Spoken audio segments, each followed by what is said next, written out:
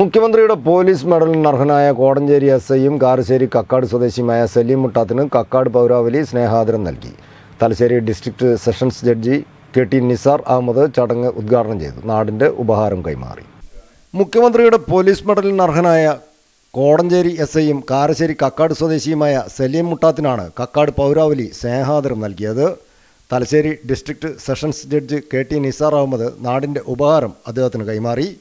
ചടങ്ങിന്റെ ഉദ്ഘാടനവും അദ്ദേഹം നിർവഹിച്ചു. ആയ ഉദ്ഘാടന കർമ്മം നിർവഹിക്കുന്നതിന് ഏറെ പ്രിയങ്കരനായ നമ്മുടെ ഇദ്ദേഹത്തിന്റെ ഈ ഒരു ബഹുമതി ഇങ്ങനെ ഒരു സംഗതി കിട്ടിയിട്ടുള്ള കാര്യം നമ്മളെക്കാൾ കൂടുതൽ അത് നമ്മുടെ കുട്ടികളിലേക്ക് എത്തിക്കണം. നമ്മുടെ കുട്ടികൾ ഇവിടെ പ്രത്യേകിച്ച് തപ്പണ നാട്ടിലൊക്കെ നല്ല ബ്രൈറ്റ് ആയിട്ടുള്ള കുട്ടികളുണ്ട്. പഠിച്ച് ഏത് മേഖലയിൽ എത്തിച്ചേരാൻ കഴിവുള്ള കുട്ടികളുണ്ട്. അവർക്ക് സപ്പോർട്ട് കൊടുക്കണം.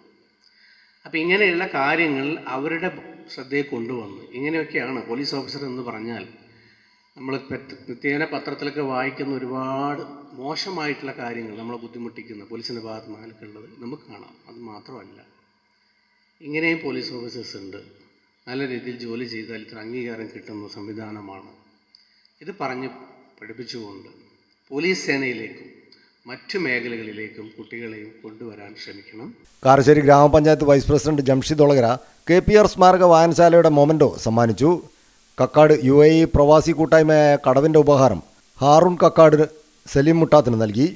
ചടങ്ങിൽ U G C C S I R net അഖിലേന്ത്യാ തലത്തിൽ തൊണ്ണൂറ്റിയേഴാം റാങ്ക് കരസ്ഥമാക്കിയ അതുല്യരാജിനുള്ള ഉപഹാരം സലിം മുട്ടാത്തും. കൈമാറി വാർഡ് മെമ്പർ ആമിന ഇടത്തിൽ അധ്യക്ഷത വഹിച്ച ചടങ്ങിൽ C K Kasim N K Abdurahman Saman Jaluli P Basheer Madani Shamsuddeen Cheruvadi Satheesh Kumar Manjar Ahammed Kutty G Abdul Akbar T P C Muhammad Haji T P Aboobacker K L Luqmanul Hakeem K P Shoukath M T Hasir P Noushad തുടങ്ങിയവർ സംബന്ധിച്ചു.